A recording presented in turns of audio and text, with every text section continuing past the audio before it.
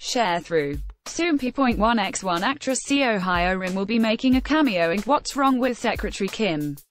See also, Jang Keun-suk's agency addresses his upcoming military enlistment on July 4. A source from the TVN drama confirmed her cameo, explaining that she'll be taking the role of the ex-wife of Park Yoo-sik, played by Kang Ki-young. Seo Hyo Rim will appear for the first time in the show today. Soompi. Display. News. English. .300x250, BTF Soompi. Mobile. English. .300x250, ATF Many fans are excited to see her character after Park Yoo-sik has talked about her to Lee Young-jun, played by Park Seo-joon, during their relationship coaching scenes. Seo Hyo Rim and Park Seo-joon are both under the same agency, and it's reported that she's making the cameo as a way to support him.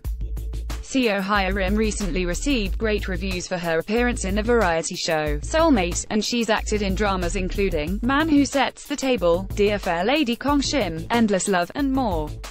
What's Wrong with Secretary Kim airs every Wednesday and Thursday at 9.30 p.m. KST. If you haven't yet, began watching the drama below.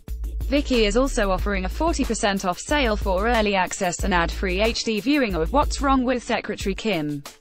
You can learn more here. Source 1, 2, Top Photo Credit, Xportsnews.